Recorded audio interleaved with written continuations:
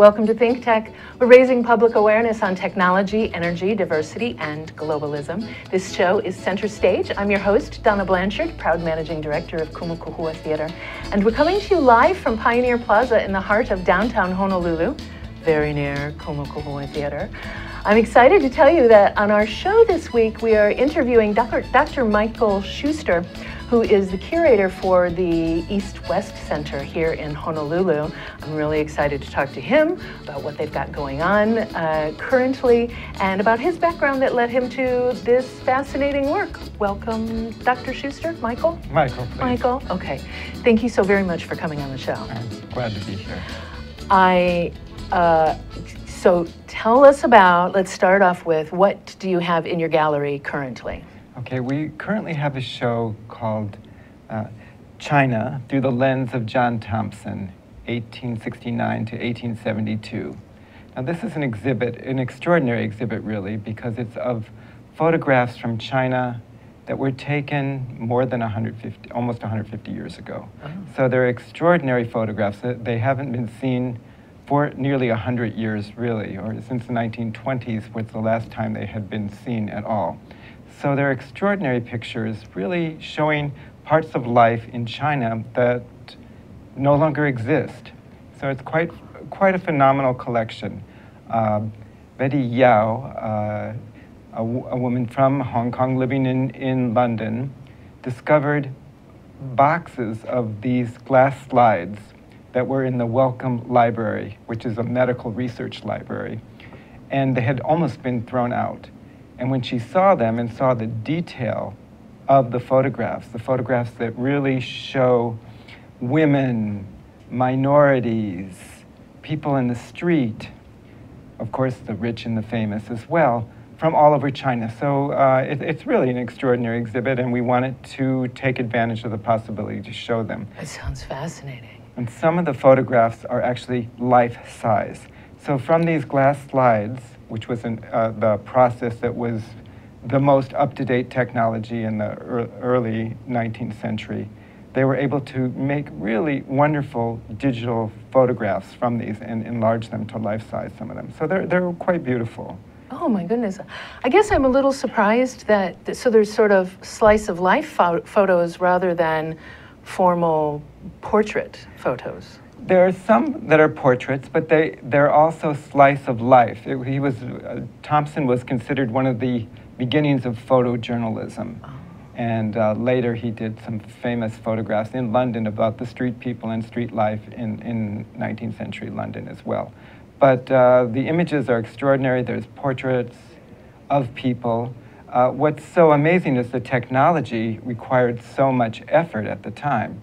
You had to travel with your whole setup and you had to develop the photographs on the spot. It took 15 to 20 seconds exposure to actually photograph people in the, in, in the photographs. And then through this process called the wet collodion process, which was a chemical process that had to be developed right on the spot. So he had to take his whole, whole setup, his whole dark room with him in order to, to do this. And he traveled all over China for about four years. So it was, it's, it's really something marvelous, and, and the shots are quite beautiful. Oh, yeah. And isn't it, isn't it something that he was allowed to do that in China 150 years ago? Well, you know, after the Opium Wars, uh, China was opened to the rest of the world, which was took place in the 1850s. So after that treaty, he could go and travel because he was a British citizen. He was from Scotland originally. People are still discussing who was a citizen from where yeah. at this point in time. But uh, he was able, through his influence and through his connections, to go into people's houses, to meet people on the street, to meet officials, etc. And apparently, he was very good at making people feel comfortable and making people feel like they would like to be shot, whether they were gamblers on the street or merchants or very wealthy women who women were never allowed to be seen from upper class households by foreign men or by any men that were not related to them. So they're, they're really extraordinary oh, photographs. Wow. So if I wanted to see this exhibit, I come to the East West Center and, uh, well, what are your what are your hours? What do I need to know about coming okay. there? We're open every day of the week except Saturday. Parking is free on Sunday. Uh, we open uh, every day from 8 till 5, except for the Sunday hours, which are from noon to 4. And we are at Burns Hall. So it's the first building on East West Road, not, not some of the other buildings that people might be more familiar with at the East West Center. Okay, yeah, and I made the mistake of, I always thought the East West Center was connected to the university. We are adjacent to the university. We share the campus, but the five buildings on our side of the road, on East West Road, are part of the East West Center. So it's not a state operated institution at all. Okay. The funds are come mostly from the federal government and from private grants. Uh, okay, okay, that was going to be my next question. So thanks for going down that path already. What else? What else will I find in the gallery? You'll also find some really wonderful photographs taken in Honolulu and the other islands uh, of the Chinese population.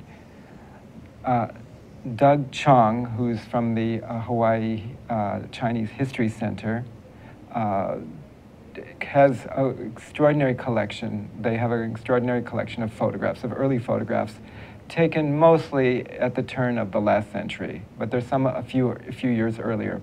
But the photographs we're showing are mostly of the Chinese in Hawaii as they begin to become assimilated. So you'll see people in traditional dress and later as they start to acclimatize and become more American, mm. more, more what, what we envision but, uh, today. But um, you'll see them in, in all the historic costumes, whether it's the bowler hats or, or whatever.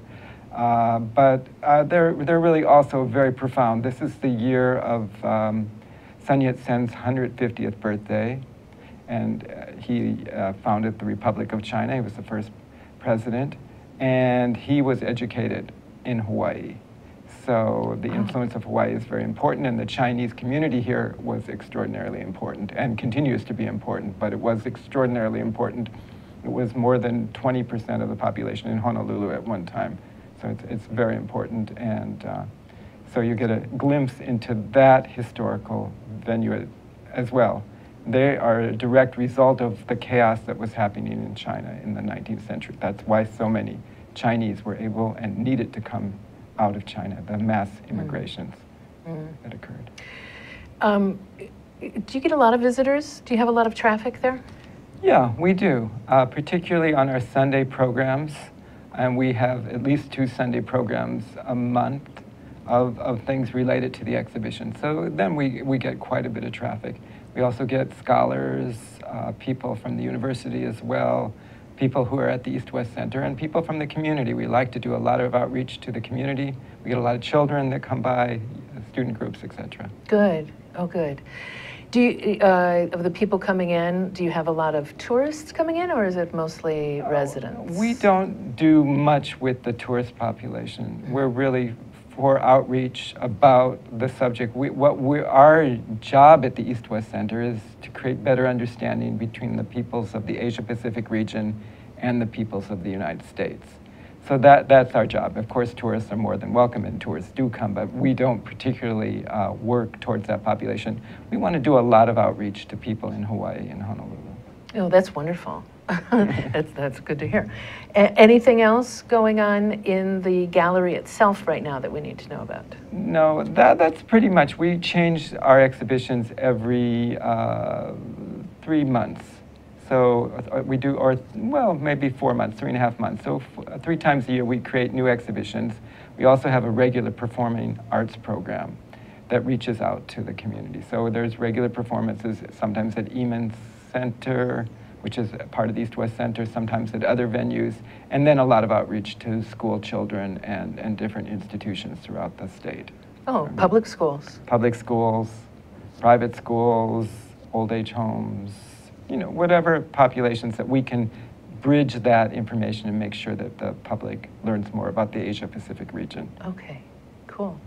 Uh, let's go ahead and go to our break. When we come back, I'd like to talk with you about what has your background, what has led you here? Because I know you have a background in theater also, mm -hmm. performance. So, of course, we got to dive into that just okay. a little bit. Um, okay, so we're going to take a short break. We're going to be back with you in about 60 seconds. See you then. Aloha, I'm Chantal Seville, the host of The Savvy Chick Show. You can watch the show every Wednesday at 11 a.m. Honolulu time and enjoy how to be inspired, and empowered. If you're a woman or girl, everyone is welcome, but it's really dedicated to you. And we look forward to seeing you. You can also find us on thinktechhawaii.com. See you soon. Aloha. Hi, I'm Ethan Allen, host of Likeable Science here on thinktechhawaii.com. I hope you'll join me every Friday at 2 p.m. to discover what's likable about science. Hi, my name is Kim Lau, and I'm the host of Hawaii Rising. You can watch me live every other Monday at 4 p.m. Aloha! Hi, my name is Aaron Wills. You are watching ThinkTechHawaii.com. I am the host of the show Rehabilitation Coming Soon. You can watch us live at ThinkTechHawaii.com at 11 a.m. on Tuesdays. I will see you there. You're watching ThinkTech Hawaii, offering lifelong learning from passionate hosts and fascinating guests, ready to explore and explain Hawaii's place in the 21st century. Great content for Hawaii from ThinkTech. Welcome back to Center Stage on the ThinkTech Hawaii Digital Network. If you would ever like to join us in our downtown studio here in Pioneer Plaza in the heart of downtown Honolulu, you may do that. Just email jay at thinktechhawaii.com and he will hook you up. We're talking with Dr. Michael Schuster, curator of the gallery at the East West Center. And can we talk a little bit about you? Sure, of If you don't mind. Um, uh, did you grow up here? No, I didn't. I, I grew up all over, actually. So I've lived in many places in the world. All over. Military family? No, no, I moved to California when I was 16, and then I went to India, and I lived in Jerusalem for many years, and then I, I studied in Indonesia, so and in Japan. So I've, I've studied a lot all over. That's fabulous. And then I came here and I did my doctorate work here. How, uh, what a wonderful thing to have that amount of travel involved with your education while you were so young. I was very fortunate. That's a blessing. It was a great fortune. to be able to have that. Um, and you, so you came here. What was it that drew you here? Well, I, actually, I got a grant to study at the East West Center and finish my Oh. doctorate. So I studied at the University of Hawaii and uh, focused on Asian theater. India was my specialty, is my area of expertise, or was originally my area of expertise. Yeah. And I worked in Indian puppet theater in villages in India. So that, that's, that's my background in, Oh. in, in academia. Are your parents academics? No, no, they're not at all. Well, how did this happen then? Are they artists?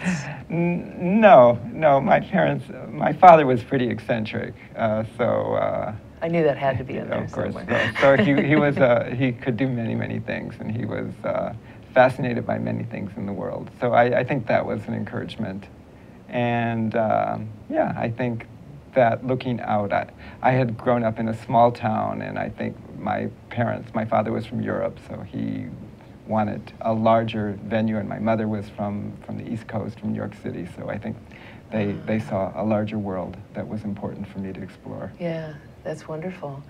And what drew you to pu- theater to begin with?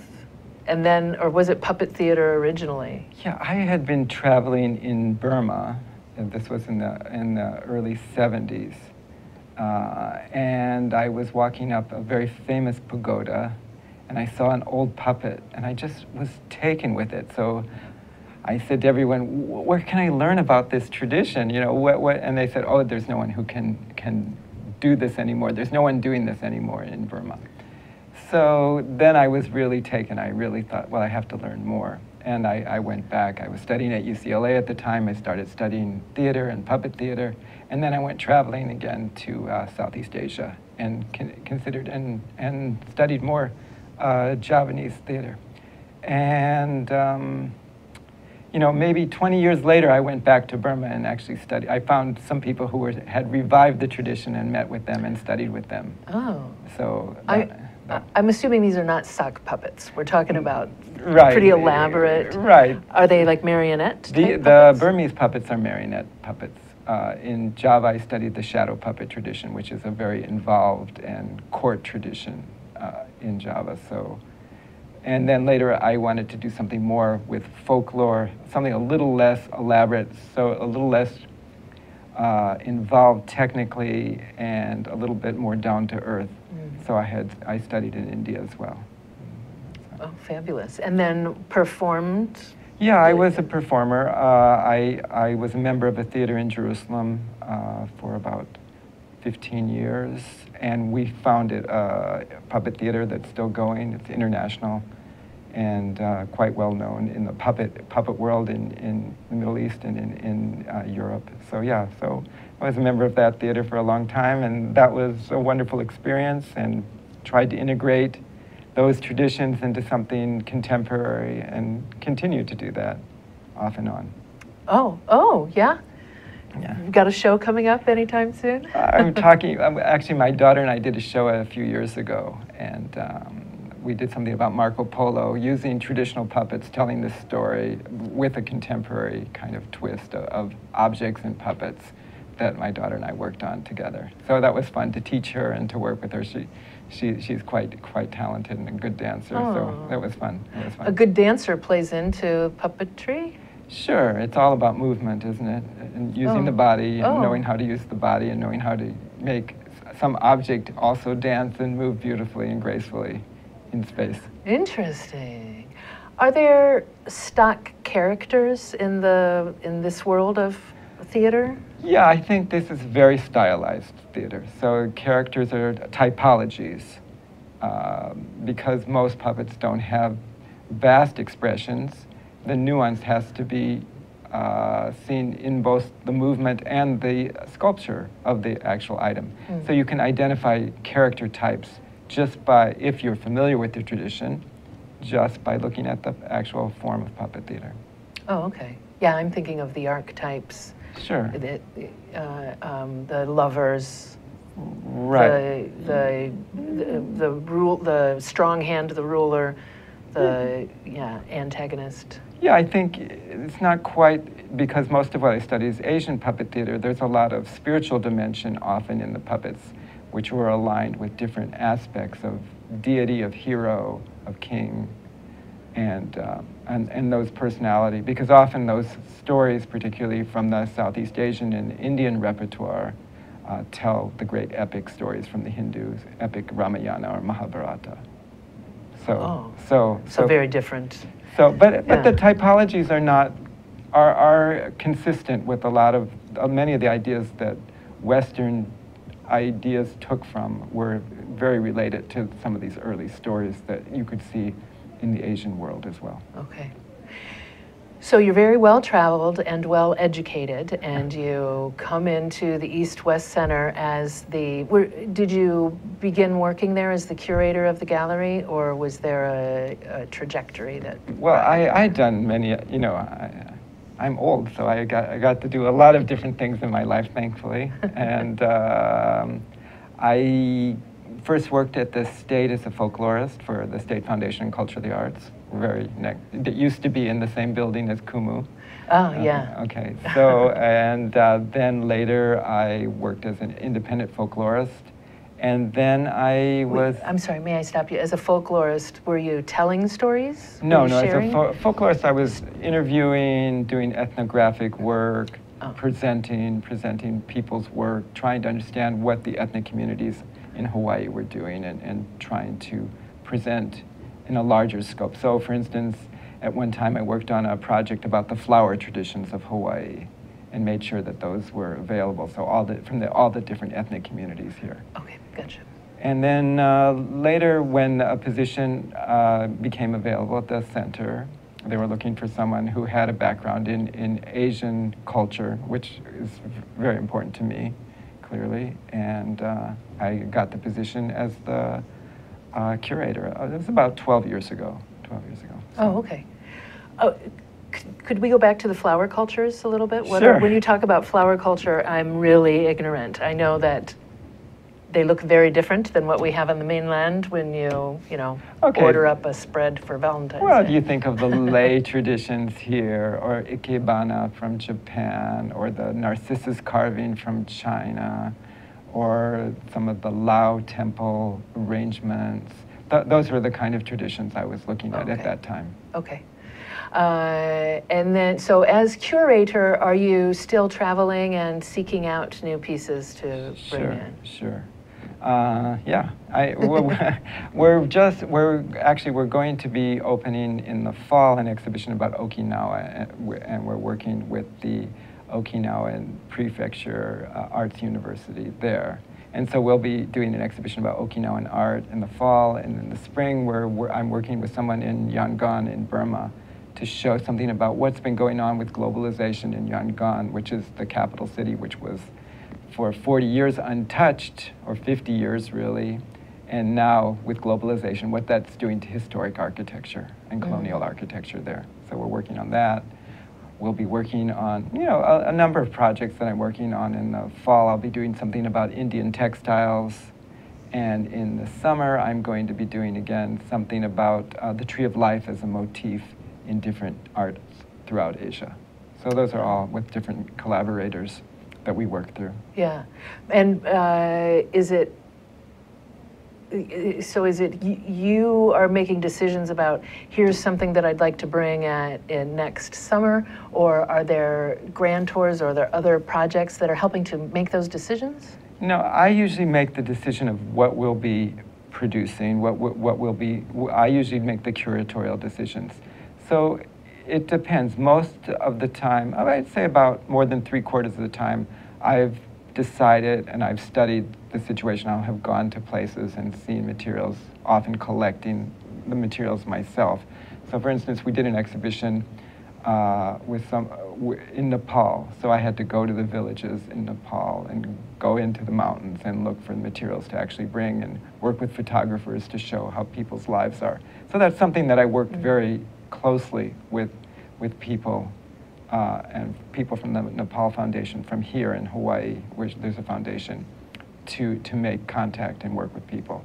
On the other hand, sometimes the exhibitions have already been developed, and then I will just you know, make sure that they're appropriate for what we want to show here. So it, it's both, it, but it's usually a collaborative process, either with individual collectors or, or uh, larger institutions. Were you a part of, uh, you know, we just had a couple of major earthquakes in Nepal last year. Were you a part of any sort of effort to reclaim or see what, if any of the art was damaged?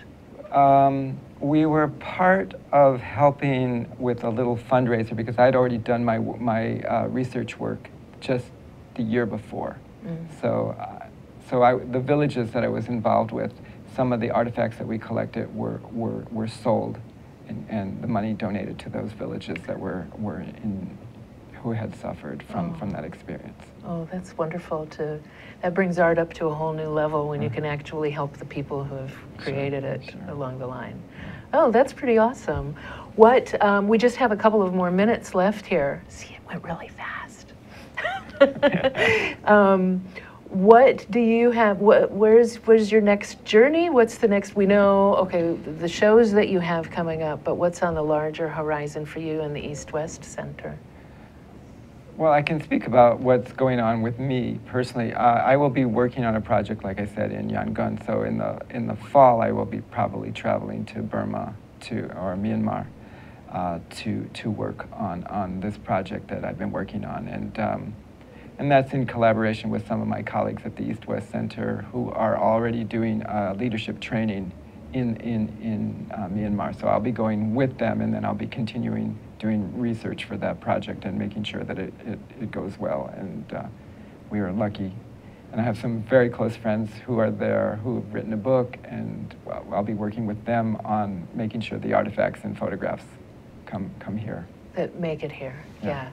So, do, how, how involved do you get with issues of political unrest or the refugee issues that are going on in Myanmar? Uh, I don't get too involved with uh, the politics of the situation. Um, other than I'm aware, you know, I know people, the situation, but I, I really try to stay involved with the cultural aspects of people and creating that link and understanding. Uh, the greater political issues uh, I leave to other people to try to decide. And I, I just want to make that human contact so we can mm. ha- have a deeper understanding of all of us as human beings. That's that's cool. That's that's a good point to put on it. So we're looking at we're going to wrap up here looking at some pictures of uh, these are some of the images that you have in the gallery right now. No, these are actually images that are going to be uh, from the Okinawan exhibit. Oh, you know, we're doing an Okinawan show at Kumu Kahua Theater this fall. Our timing is probably sublime. Great. Great. That's great. Oh, that's good to know. Yeah, yeah, we'll definitely have to talk some more. Uh, so, okay, so these are in the show that are coming up. Beautiful. We'll- Is that a sculpture? No, that's a woman who's dancing, and she will, and we will be showing Gosh. all of these uh, beautiful performances. There will be a performances at the East West Center as well. Awesome. Awesome. Well, let's uh, most definitely stay in touch. I'm looking forward to hearing about your travels. I really appreciate that you don't want to get involved in the political front, and just by helping to preserve and share those cultures, you, you are doing your part really wonderfully, I think. Okay. You know, to, to show us that we all really have something to stand up for and work on preserving. Um, and we, uh, if, if someone wants to get involved, if someone wants to visit the East West Center, where should they go to learn more information about that? They can just look at the East West Center website. It's uh, eastwestcenter.org, and they can find us, or eastwestcenter.org, and then look for the arts page as well, which is separate. Look for the arts page there. And every, all of the information that you have on the performances is also listed there. Yeah, yes. If someone wanted to get involved, do you use volunteers there? Uh, the East West Center has a Friends program, so you can call call the East West Center, and um, you know they will give you uh, information of how to join Friends of East West Center. Awesome. They will hook you up. I'm definitely going to make a point of coming over to see the exhibit. I'm Great. glad that we got acquainted. I'm glad that I knew, I now know it's not a part of the university. Glad to hear that you're supported so well by the state, too.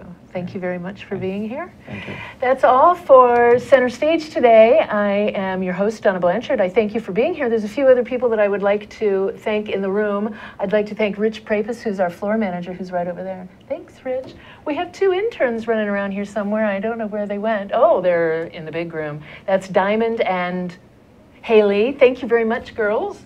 And I'd also like to thank Zuri, our studio overlord, who is in my ear, and Jay Fidel, who somehow manages to put all of this together. If you would ever like to join us in the studio audience, email Jay at j at thinktechhawaii.com. If you would ever like to be a part of the show or you know someone who you believe Donna really should be interviewing on that show, then please get in touch with me. You can do that via Twitter at um, it's all it's all about Donna. How could I possibly forget that? Because it is all about Donna. You can also connect to me at Kumu Kahua Theater, and that's kumukahua.org online. Thank you very much, and we will see you next Wednesday on Center Stage. Bye.